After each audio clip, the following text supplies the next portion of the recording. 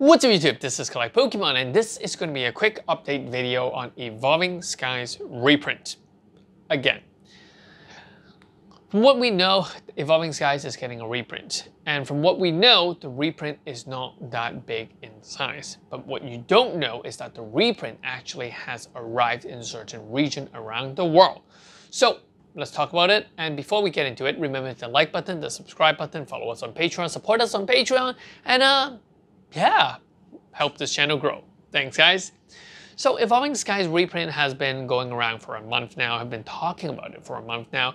Uh, Asia Pacific region actually got their reprint around a week or two weeks ago.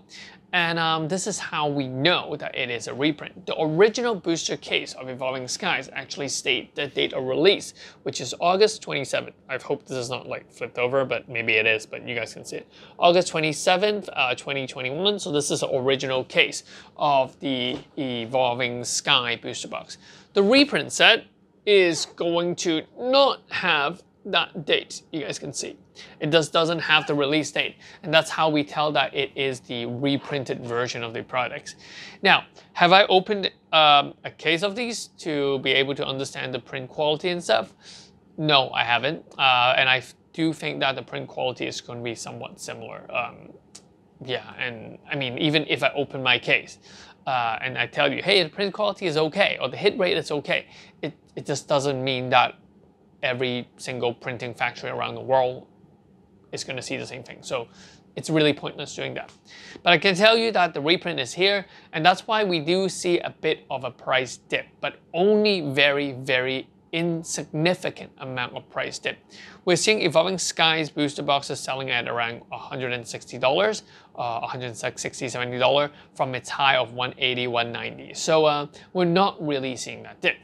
And you're gonna say, hey, collect Pokemon. What about you know the bigger wave? You know the U.S. reprint uh, is going to happen in July and August. Well, I simply think that the wave will not be big enough. I still believe that the price will firmly hold at that $150 mark. Um, if you are planning to sell your Evolving Skies, booster box because you're worried about the reprint, I would definitely hold on to it. I, I mean, yeah, you, you, you know, if you are in need of money, yeah, do sell it, you know, but if you're not in need of money, you can hold it for five years. Why not hold it for five years? I can tell you that this set is definitely going to be the set that people go to when they look and buy Pokemon card or invest in Pokemon card. They're not going to pay money in Astral Radiance. They're not going to pay money in Pokemon Go TCG. They're not even going to pay money in even the newest Lost Abyss. You know, for any set that is going to be released, you know, this whole coming 2022, I do believe that Evolving Skies will be, you know, one up every or two up every single one of them. And so unless the price of this booster box hit up to around 300 US dollar, you know, people, investor would definitely go for the Evolving Skies than the Astral Radiance or something else. What about reprints? Like Pokemon. Do you think that, you know, Pokemon will see this and they're just going to print Evolving Skies to the ground? I wish the answer is yes, but I can tell you the answer is no. If they're going to reprint after Evolving Skies, what is the next logical set for a reprint or due for a reprint? Brilliant Star. You know, Brilliant Star is still very, very short in stock and very high up in price as well. There are a lot of playable cards that people need to play. Evolving Sky is a lot older. I know, I know, it's August, it's like half a year older, but still, you know, it's a lot older. It could be rotated out, you know, the next coming year or so. So I think Brilliant Star will be one of the priority to uh, for Pokemon Company to reprint that set rather than evolving skies. So that's something that you have to consider. Uh, will we get another wave of evolving skies in the future? Who knows? Like I said in my previous video, we might get single packs. We might get a bunch of single individual packs, uh, you know, packaged within different products so that the other products are selling a lot better. Could be, but you know, there must be a set that Pokemon wants to have a very, very high secondary value in order for that plan to work. If all the sets are dirt cheap, there's no reason for them to buy or no reason for consumer to buy special boxes right? So it's only logical in the business sense that we, or as a Pokemon company, they make one set very, very difficult to get.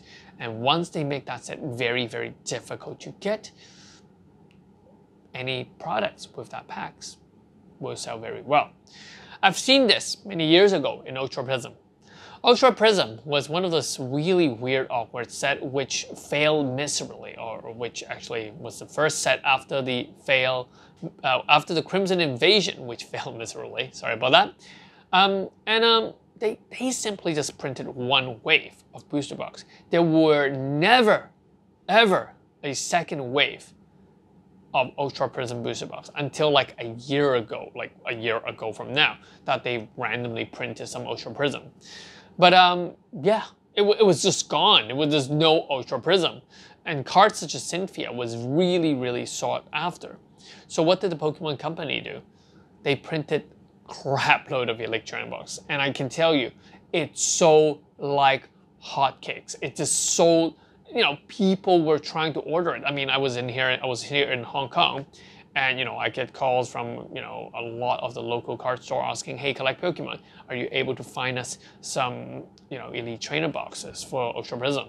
And back then, how much? I ordered around six, seven hundred, six or seven hundred Elite Trainer box, and it just sold really, really rapidly and quickly as well. So uh, yeah, good old times when you can actually order unlimited amount. And you know that was before our time, and then later on people picked up on it, and you know they started to you know grab all those uh, elite trainer boxes as well.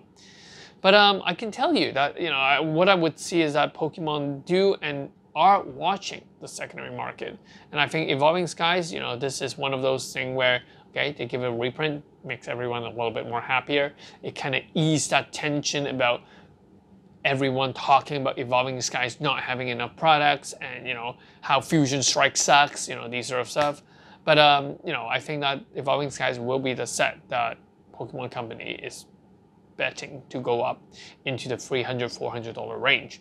And so whenever they include some packs in that, people will go like, ooh, there's a Evolving Skies pack.